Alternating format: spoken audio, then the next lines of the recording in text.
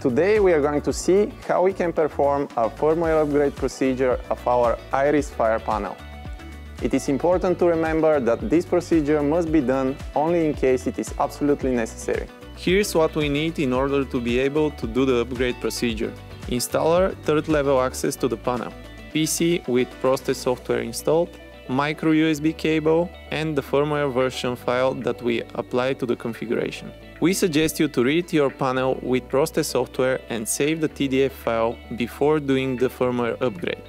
In order to have your panel's configuration, because after upgrade you will have to do a full reset of the panel with the jumper to factory defaults and all programming will be lost.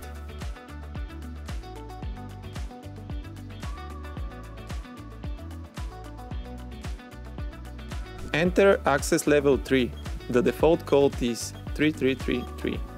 System Maintenance Software Revision Screen.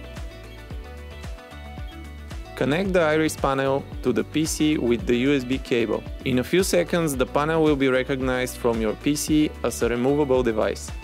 Drag or copy-paste the upgrade tool file into the removable device screen. Eject the removable device by pressing the right button on it. Do not eject the device from the taskbar. Wait a few seconds and then unplug the USB cable and then power off the panel. Put the reset jumper and then power on the panel again. A calibration screen will appear. Follow the instructions on the screen.